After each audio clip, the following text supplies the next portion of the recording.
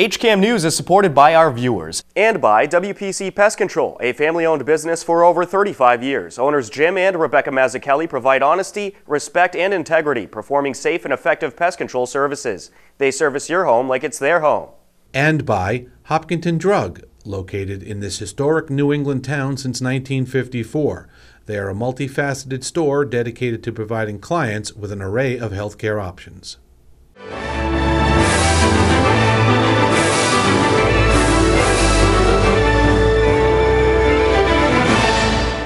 Hello, and welcome to HCAM News. Tom Nappy at the anchor desk to keep you up to date with what's happening in Hopkinton. On this edition of HCAM News, wives of state policemen were assisted by the Hopkinton Police placing blue ribbons around town to show support for law enforcement and their families. Director of School Buildings and Grounds, Al Rogers, stopped by the HCAM studios to talk about the summertime school renovations, and we will show you highlights from this year's concerts on the Common. But first, here are some happenings in Hopkinton you should know about.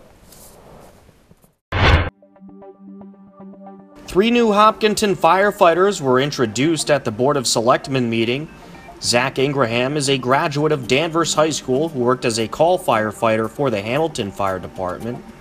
This fire department's great. Uh, the one I previously worked for, you know, the equipment was nothing like this. It was very hard pressed to get things.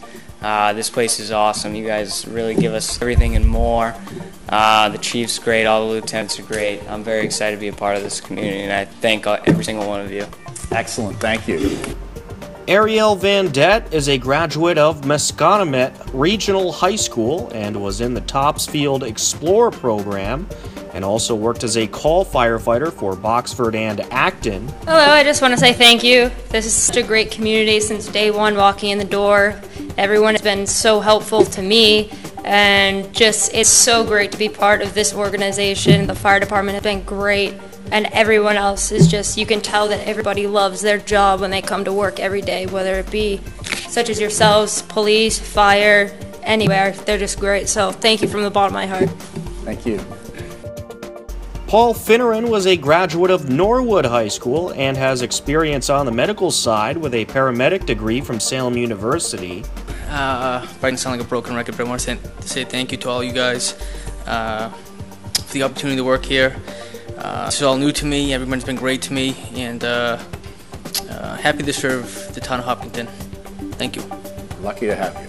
Um, all three of you, congratulations on your new appointments, and we look forward to seeing you around town. They have a bunch of family members here, and I don't know if we want to snap a quick picture or something great, like that. It's kind of Come nice up. If you uh, just wanna to get a do a picture little with something. your- if you- On August 8th, Hopkinton DPW foreman and proud grandfather Phil Shalosky shared a photo with us of his granddaughter Bryn.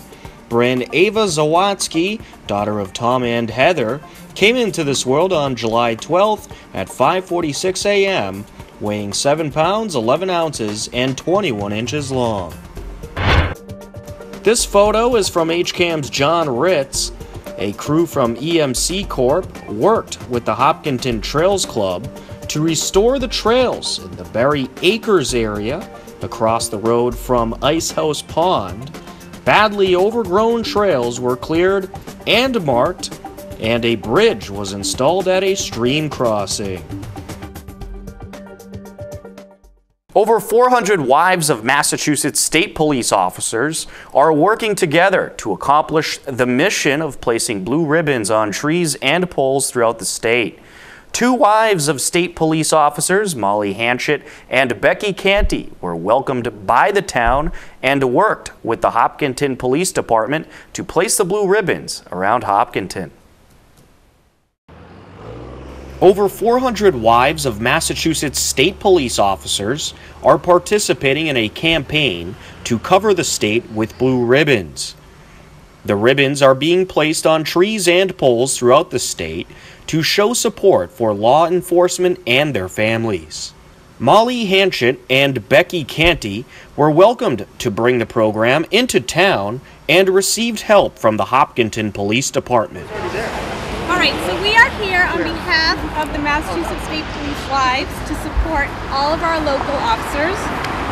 We want to make sure that everyone knows they have support from all of us because right now in the world it's a little crazy and upsetting. So when they see these support. ribbons, we want them to know that we're thinking of you guys and that we're all behind you, the families, the local law enforcement, the state law enforcement. We're all a family here, so we just want you all to know that we're, we're backing you 110%. When you see these, think of the families, the friends, local law enforcement. We're all backing you. We certainly appreciate this. Uh, seems like every day now you turn on the news, you're reading about a, another tragic event in the newspaper about an officer fallen. Obviously, what happened in in, in, in Texas and other communities, it's it's just surreal what's been going on with law enforcement. And uh, in the news, a lot of protests against police. And uh, but we have good officers here in Hopkinton and all over the, the nation, and we just continue to keep your chin up and do your job that you uh, sworn to do. But it really uh, leaves a good feeling when we get support like this and uh, these tough times for police, and we really do appreciate it. Thank you very much. So we're supporting um, the Mass State Police. We're the wives of local police officers, and we just want everyone in their whole community to know that we're there to support all law enforcement. Yes, the Mass State Police Wives has led the way, uh, hanging the blue ribbons, uh, but we want everyone to know that we're out there for you. So when you see these blue ribbons, we want you to know that we're thinking of you, we support you, we back you 100%. We're thinking of the family members, we're thinking of all the law enforcement, the Mass State Police community, as well as all the local, local law enforcement. So that's really our main goal here is to put up these ribbons. When people see them, know that you have a community supporting you. And we'd also like to encourage all local people to hang them on their trees and their front lawn to show their own support. Know that then you know there's people that have your back in town, each town. We're trying to get in every town in the state, and so this way it shows the support, knowing that the respect is still there. And I understand you've done a number of towns already. Can you just talk about some of the towns you did and some of the towns you are going to do? I know there's Townsend, Groton. Um, we're doing Hopkinton tonight on Monday. Um, I'll be leading the way for Marlboro on Thursday at 4 p.m. Um, Sudbury will be short thereafter in the next couple of weeks. And I'm waiting back to hear from Milford, and we're trying to get in Westboro. I know there's some other ones out west that have been um, done already. I don't know all the towns. I know they're still working on like. Yeah, I think the Berkshires were Yeah. covered. Uh, we're also going to try to get into Ashland as well. So, like she said, we are looking for other folks' support, even other wives of other departments, to come out to lead the way. Putting more ribbons up, the more the merrier, because again, when you see them, you know that you're backed. So, how did this Blue Ribbon program get started? Wives of um, one of the troopers has started the MSP Wives, and it was really for support initially for um, all the women, all the wives out there that their husbands are working midnights and getting those shifts so that no one's home when they have the newborn or there's a function on the weekend and you're left alone. So it really started as support for one another, and then all the tragedies started happening around the country, and we thought that it was a good way to show our support for other departments. Um, that we understand, we know what you've gone through, and really the blue ribbon came from the thin blue line of um, the police support. Yeah, we've kind of actually um, been in charge of getting our own ribbons. So we've had a great support from the Sunnyside Gardens in Hopkinton. Uh, Mary there actually made a bunch of ribbons, these ones that are hanging here, and donated them. So thank you again to Sunnyside. We really appreciate it. Uh, but all the other ribbons that you're seeing really are coming from the wives in the local communities where we found some good ways of uh, keeping a budget low. so we'll, we purchased tablecloths, we cut them the long ways, uh, buy some mesh ribbon, and hang them up. So it's all of your creative genes are welcome here. I am not creative, but the Mass State Police Wives uh, in the Facebook group have been showing us examples that we're following. To see much more about the Blue Ribbon program, head over to our website, hcam.tv. Coming up on HCAM News, we will fill you in on school renovations taking place throughout Hopkinton. We will recap this summer's concerts on the Common, and Courtney will get you up to date with everything coming up on the HCAM channels with our HCAM Insider. You're tuned in to HCAM News. Don't touch that dial. HCAM News is supported by our viewers and by Webster First Federal Credit Union, providing financial products with attentive customer service to the local families and businesses of Hopkinton. Visit us at websterfirst.com. and by Golden Pond Assisted Living, honoring resident choice, dignity, and independence. Our health and wellness focus keeps residents active. Golden Pond, state of the art senior housing and healthcare services. Do you have what it takes?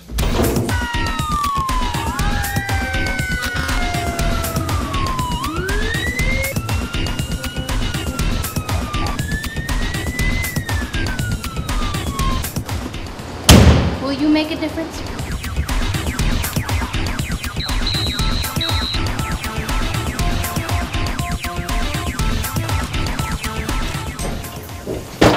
An adventure.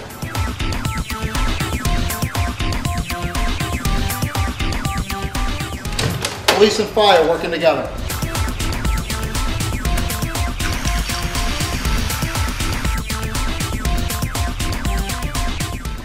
Utilizing the latest technology.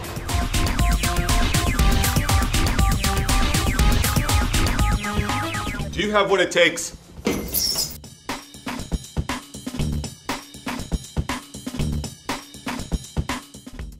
Welcome back to HCAM News. A long list of school renovations are taking place throughout town. Director of Buildings and Grounds Al Rogers stopped by the HCAM studios to talk about the renovations happening and filled us in on some of the details. While the students may be home for the summer, hard work continues to take place in schools to get ready for the next school year in September. So we are um, redoing the roof at uh, the shingled roof, which is the, the high pitch roof at the Hopkins School um, around the perimeter, and we're doing some of the low slope roof, and we're addressing the um, the low slope roof at Hopkins School and the high school. We're stripping in seams, so they're you know 15, 20 year old roofs, and we're um, trying to do some uh, preventative maintenance and addressing a few leaks that we have. Um, the uh, you know the shingle roof at Hopkins has uh, you know met his its life uh, cycle, so it, it's best that we replace that now. Director of Buildings and Grounds Al Rogers listed off a few of the many projects going on throughout Hopkinton schools this summer. We're replacing the scoreboard uh, at the high school. Um, with um, two LED uh, modern uh, scoreboards that'll be on the walls.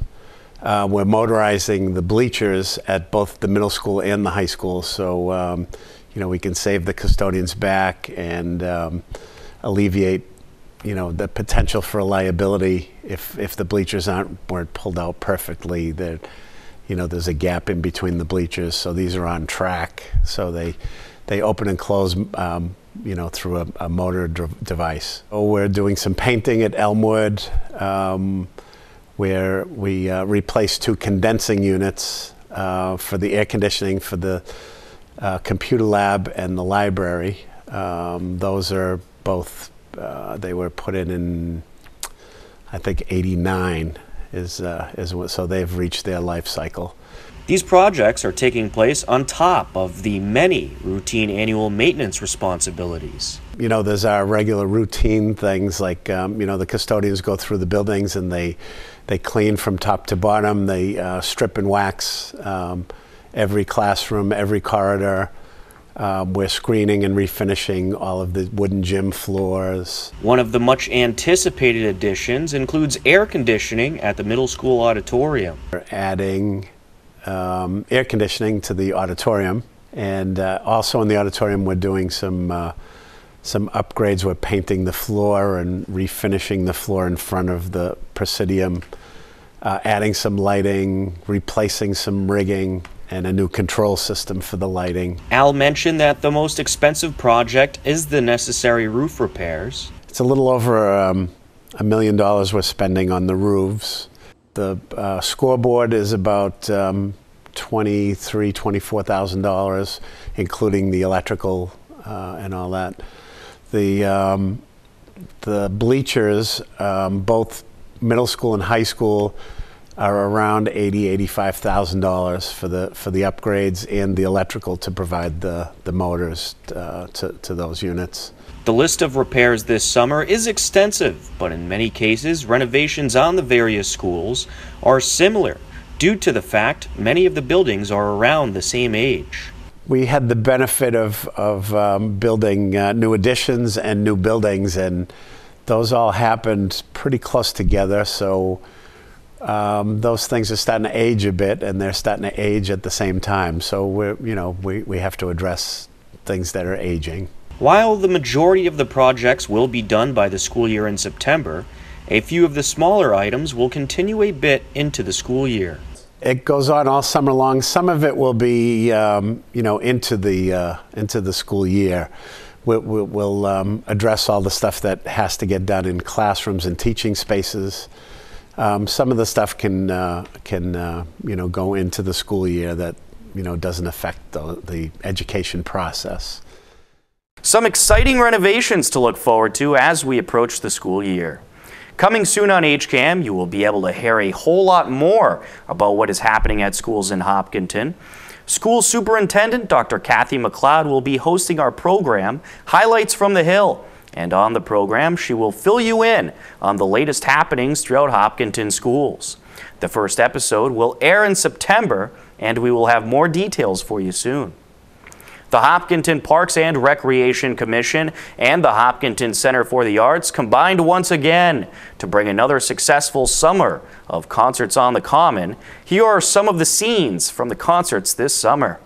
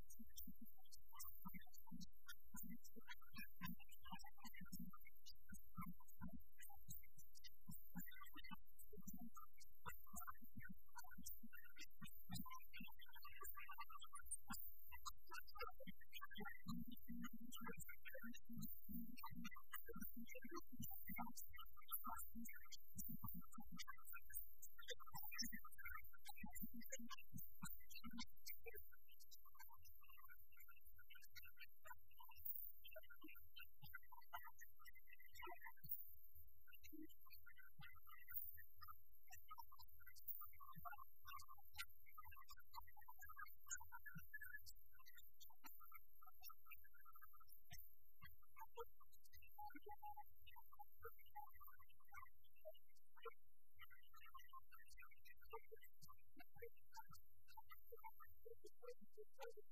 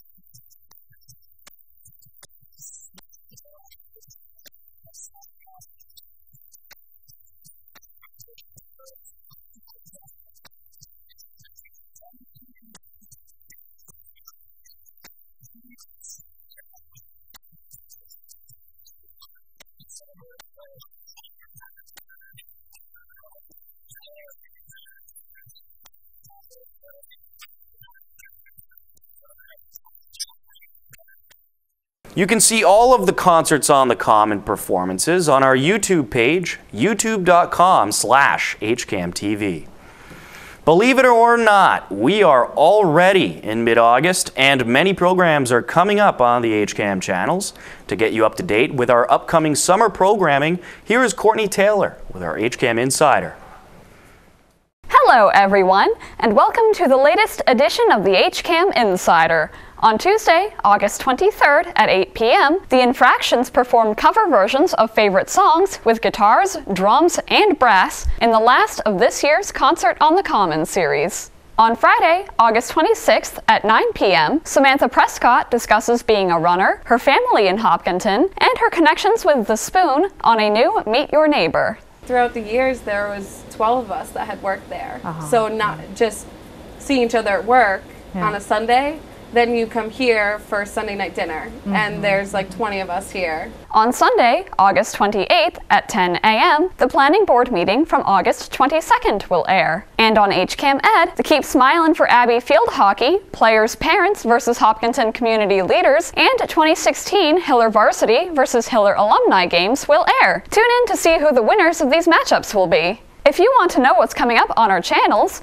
head on over to hcam.tv slash connect to sign up for our HCAM Insider newsletter.